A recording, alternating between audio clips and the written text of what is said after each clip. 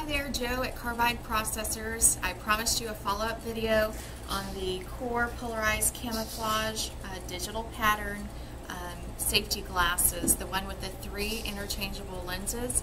So here's the follow-up video on how to change out the lenses. But before I do that, I just wanted to remind you that this is a nylon frame. It's extremely durable.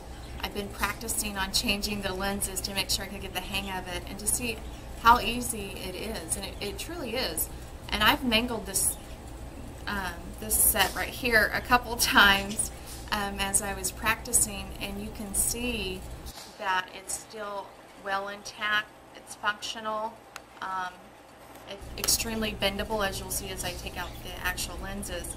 Um, just a real quick recap, the digital pattern, it comes with bag that holds the additional lenses. So right here I have the polarized lenses in the frame right now. Here are the anti-reflective and the whoops, excuse me, the yellow right here.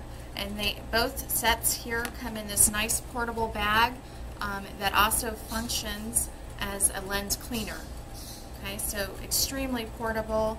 You have an extra case here, and of course it does come with this um, hard case here so you don't crush them. So gone are the days with the three separate pairs of glasses for indoor, outdoor, um, and shooting, um, if you will.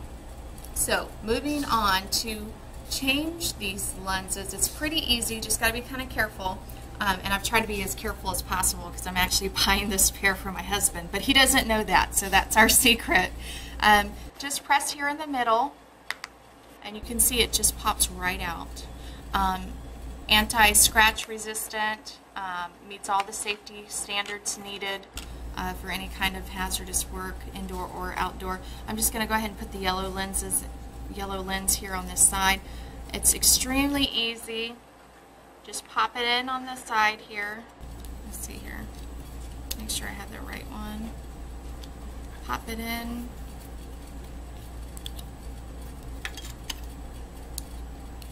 There we go. I the wrong side. Just go ahead and pop it in right here. You can see it's naturally grooved.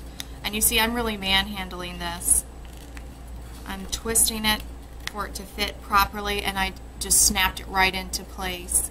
So once again you just press on this, the center piece and the outside piece here. That's what I was talking about, having to practice. Um, but like I said, that's our secret. My husband does not have to know that. And we'll just pop this little guy right in here. Twist it as much as you need to so it'll have that perfect snug fit and you're ready to go.